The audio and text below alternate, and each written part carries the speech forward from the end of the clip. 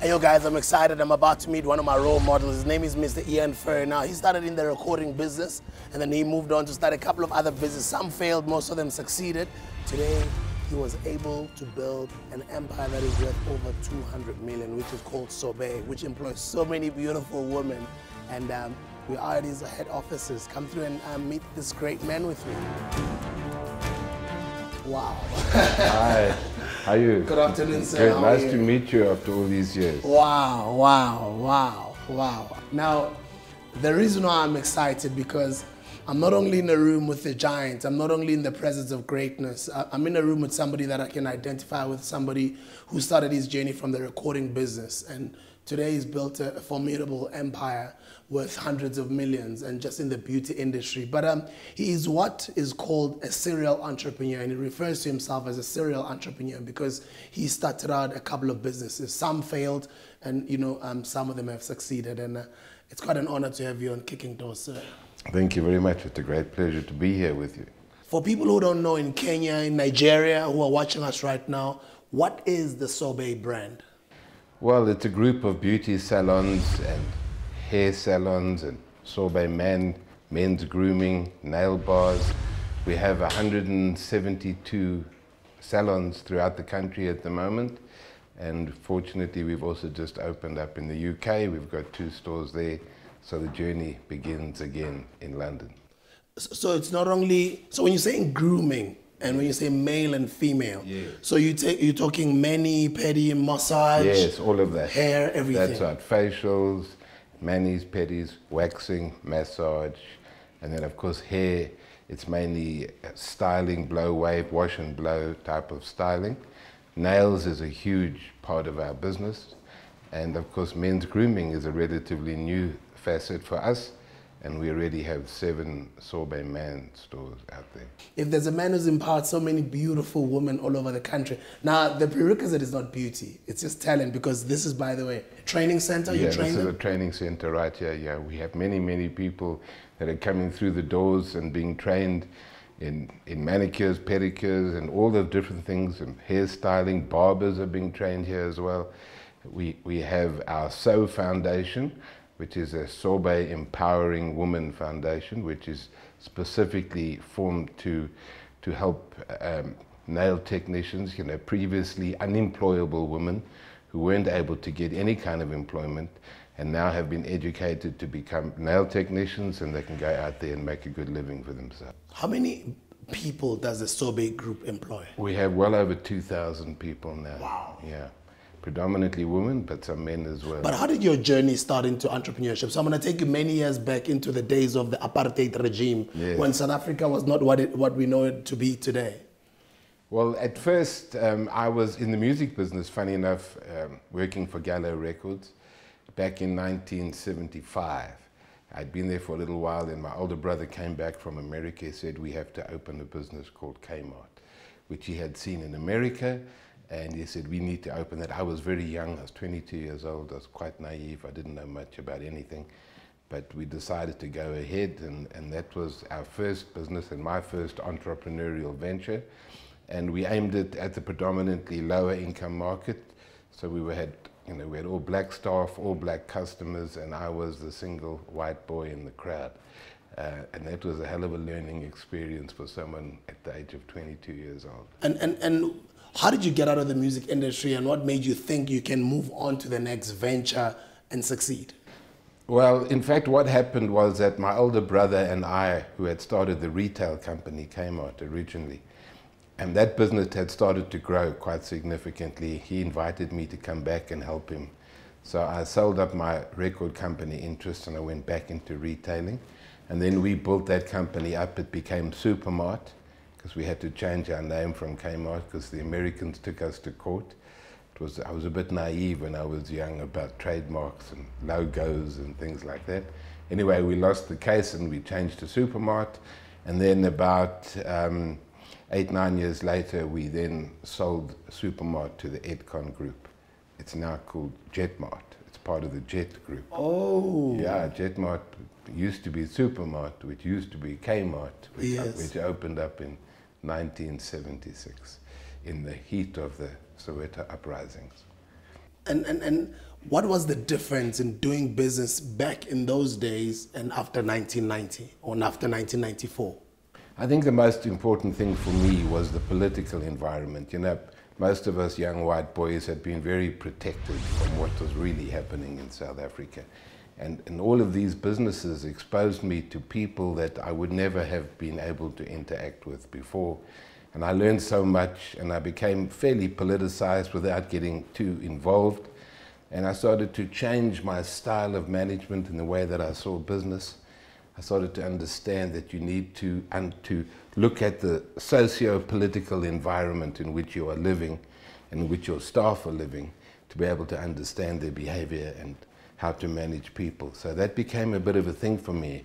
I looked at the human resource side of the business and I looked at what was really happening in South Africa and the impact it was having on my staff and their living conditions outside of the business. Changed my style completely from a top-down management hard approach to a, a bottom-up, what I call servant leader approach where you are there to now build and to nourish and to nurture people rather than to manage them from the top down. Yes. would you say that's what makes businesses succeed? Because my next question is going to be, what is the key to um, you know to make it to build to to building a successful business? People. It's all about people. So if you can get the people right, that's why I always say you must put people before profit. You must come to work to serve, not to make money and servant leadership and all of these things, if you put them all together, you create the culture. At Sorbet, we call that the soul of Sorbet. And it's really about being able to, to build a competitive advantage out of the culture of your business. In other words, if you can get people to feel happy and comfortable and content and you show them that you genuinely care about their development and about their lives, they become motivated by themselves. You don't need to, you can't really motivate somebody, but you can inspire them to motivate themselves. So you try and build a working environment in which people feel uh, content and comfortable, and hopefully that will then help them to, to motivate themselves. And if you do that, you then get a positive attitude coming through from the staff. And I believe that at Sorbet, one of our most important competitive advantages is the positive attitude of our staff. And I think that's what has built our business. People become loyal to those staff members who have really gone out of their way to serve them well because they understand that the purpose of work is to serve. From the recording business side, how did you get into the beauty business? How did you start Sorbet? Well, I think the important thing for me was I've always moved from one industry to another, just as you have done. Um, and you know, people ask me, why didn't you stay and just do what you did best and repeat that again, perhaps with a different flavor? Not really. For me, it's much more exciting to go into a new industry, fresh, and you're not uh, tainted by the conventional wisdom of that industry. You come with fresh eyes. People tell you what you cannot, you know, what you can, what you cannot do. But at the end of the day, you have to come with your own views and do a little bit of pioneering and if necessarily, you know, try and sort of challenge the status quo of that industry. That's what inspires me, is how can I change this industry, not how can I follow it. Mm. Yes. Because a lot of people would expect a, a female entrepreneur to get into yes. the beauty industry. And I know they're quite disappointed when they see me. what does this old guy have to do with the beauty industry? But how tough was it though? It was tough in the beginning, very, very hard. You know, Sorbet was also an interesting name. Yeah. For the first four or five years, people thought we were an ice cream. Ice cream brand. Yeah, yeah, yeah, an ice cream brand. And we'd go to the landlords and they'd say, no, we already have Milky Way and we don't need any more ice cream shops. and so it was quite challenging. But after four to five years, we finally managed to franchise our business. And from then, it started to move well. And now, these days, we're opening about three to four new salons per month. Now, you, you employ over 2,000 people. Yes. The importance of giving back and the wonderful work that you do in helping other people, your philanthropic activities. Yes. Well, I think it's important for any business to, you know, to do that. I don't think we're doing anything dramatically different, but we do feel that there's a lot of people out there who just don't have an opportunity. And the greatest gift in life is, you know, is giving somebody the opportunity to fulfill their potential. And that potential, sadly, is lying wasted amongst millions of people who never got the opportunity for an education or for proper employment. So we have many of our salon assistants and cleaners that we've upgraded. We've educated them to become nail technicians and now they have a very good earning capacity and they're able to live much more functional and normal lives. Yeah, because I walk into your head offices and I'm seeing just training centers, chairs, salon stuff, and I'm thinking, yeah. isn't this supposed to be a head office? And then the girls, the ladies are, are telling me, no, this is where we train unskilled people and we turn them into skilled laborers. Yeah, no, we do that all the time, and, and we're very proud of, of our ladies who have really gone out there and made a difference. They become employed in our stores, and, and we get wonderful feedback from our guests. You know, we call our, our clients our guests, and we get fantastic feedback from our guests about the new ladies that have now been employed there.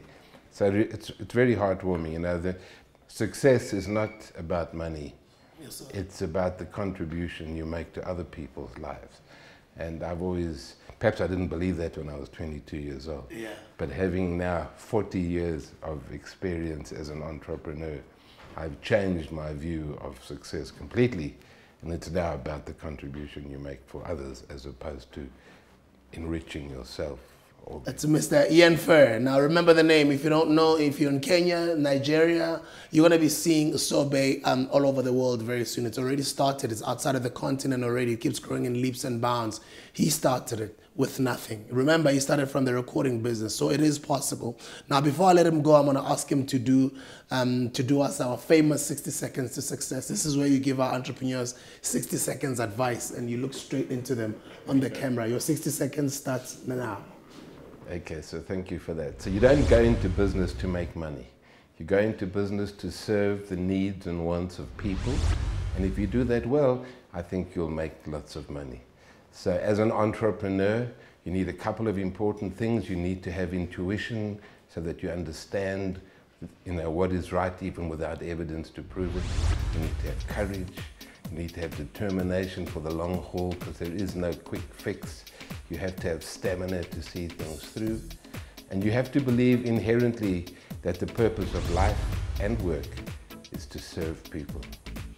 Our Elon Musk, our Mark Zuckerberg, our Richard Branson, our Steve Jobs, our Bill Gates, our you name them. And um, I've been blessed to be sitting next to this man. Thank you very much. God bless you, sir.